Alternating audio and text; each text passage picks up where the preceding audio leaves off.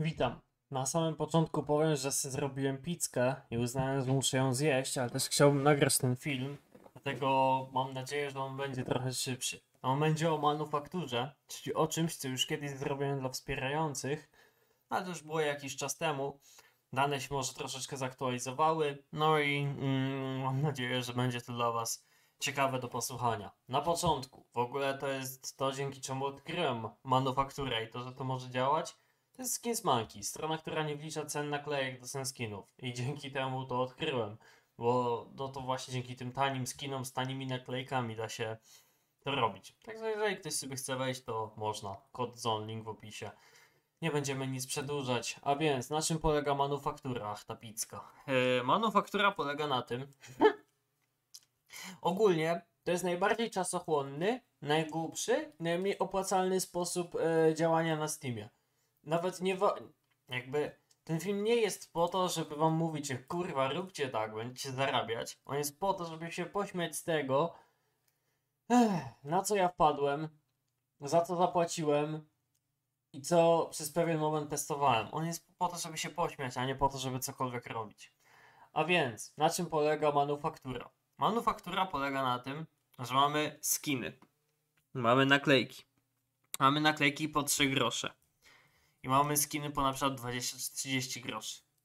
Chodzi o to, aby te dwa moduły ze sobą połączyć, robiąc mieszankę, która kosztuje na przykład 50 groszy.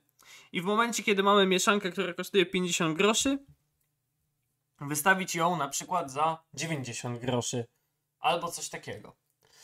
No i teraz się ktoś zapyta, no kurwa, jaki debil za to zapłaci, skoro można po prostu sobie wziąć takiego skina kupić i nakleić te naklejki na niego, no i to wychodzi taniej. No okazuje się, że całkiem sporo.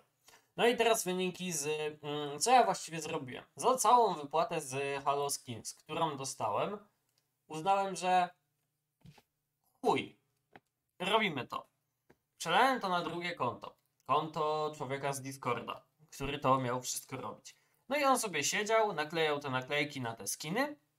No i wiadomo, że miał tam jakiś procent z tego, że to robił. Yy, w zasadzie chyba nawet dosyć duży. Ale yy, no i tak sobie siedział, naklejał naklejki na skiny, no i je wystawiał. No i jakie są wyniki? Yy, po pierwsze, mm, nie naklejał tego dużo, bo mu się nie chciało. Ja nie dziwię się, bo to jest naprawdę przejebane.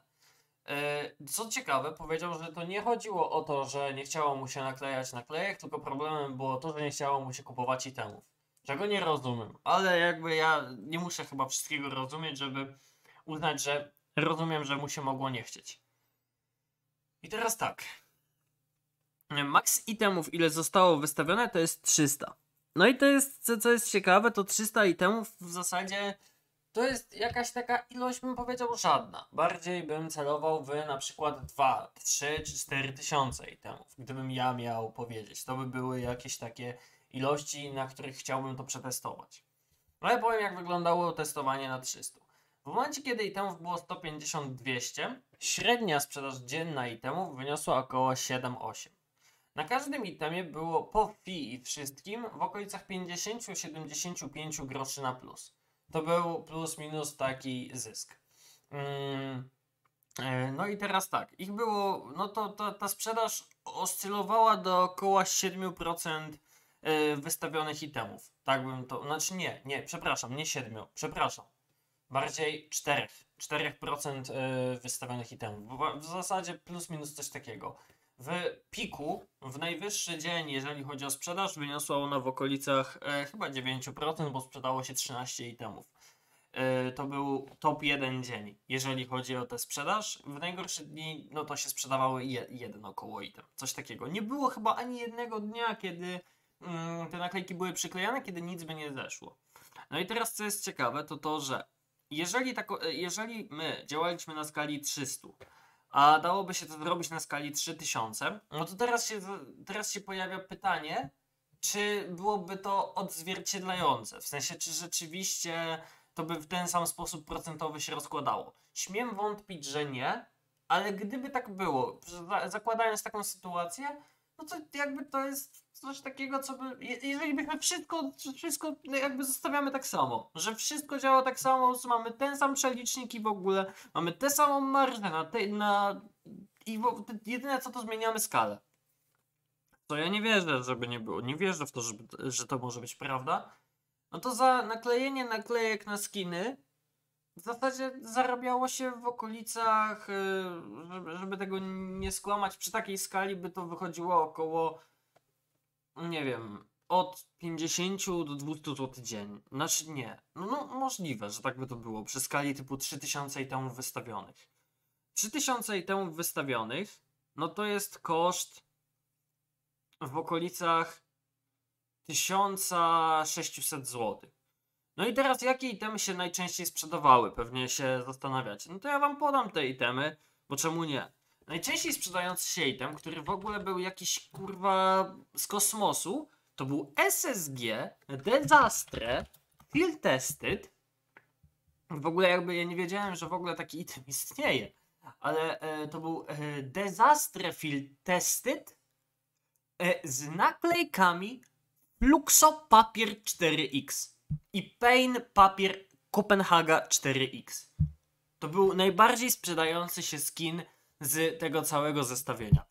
Yy, W piku, yy, bo my robiliśmy ogólnie tak, że wkładaliśmy jeden skin jakiś i jeżeli ten skin się sprzedawał, to wkładaliśmy takie dwa. W sensie reprodukowaliśmy skina i wsadzaliśmy kolejnego dokładnie takiego samego, nie? No bo wiedzieliśmy, że na jakieś konkretne skiny po prostu będzie wysoki popyt i to był akurat jeden z tych skinów. Yy, także to ogólnie w ten sposób szło. My robiliśmy to taką masową, że robiliśmy na przykład, kupowali 10 Desastre, yy, Field Tested, 10 Minimalware, 10 takich, 10 takich, 10 takich i na nich yy, Fluxo, Kopenhagi, yy, na przykład Painy, yy, powiedzmy, no wszystko co kosztowało 3 grosze i to było tak ty, ty, ty, ty, ty, ty, ty, na rynek pyk. No. Tak to szło. Potem e, wiadomo, generator liczb losowych, żeby stworzyć cenę, za którą się to wystawiało. No i to tak szło. E, Innym itemem, który też działał dosyć spoko, to był ten Mac 10. e, On był taki czarny. Ja go zawsze mylę z innym. On, on jest z kilowata. W ogóle jakby jeżeli ktoś miałby w ogóle to robić, no to najlepiej to robić na, na skinach pokroju. O, to jest dosłownie ten Mac. To był drugi skin, który się najbardziej sprzedawał. I też jakieś e, dual berety się strasznie dobrze sprzedawały, z tego co pamiętam, z Navi. Tylko nie pamiętam, które to były. Czy to były te dual berety, czy to były dual berety z jakiejś innej skrzynki. No i plus minus tak to wyglądało. Czy jest to cokolwiek, co jest warte robienia? Nie wiem, jak się komuś kurwa nudzi, albo ma dużo naklejek, które mu nie są potrzebne, papierowych z openingu i chciałby się ich pozbyć, to spoko. Dla mnie największa zaleta tego, robienia w ogóle tego, to jest to, że to jest naprawdę biznes, z którego niesamowicie łatwo jest wyjść. Ponieważ jeżeli te itemy się sprzedają z marżą na zasadzie 2x, to sądzę, że sprzedanie tych samych itemów z marżą wynoszącą 0, w sensie tak, żeby po wszystkim być na, minu, na, na plus, albo w ogóle jakby le, leciutki minus, coś tego typu, mm, no to też jakby jest coś, co raczej nie byłoby wcale takie trudne. Przy czym najgorszą rzeczą, którą da się tu robić, w sensie najgorsze, co istnieje w tym wszystkim, to jest czas, który się poświęca na to. I bym, ja osobiście tego nie zalecał nikomu. To są tylko i wyłącznie takie, to jest taka pogadanka tego, że ja w zasadzie uznałem, że coś jest, coś jest śmieszne i można to przetestować, tak to nazwę.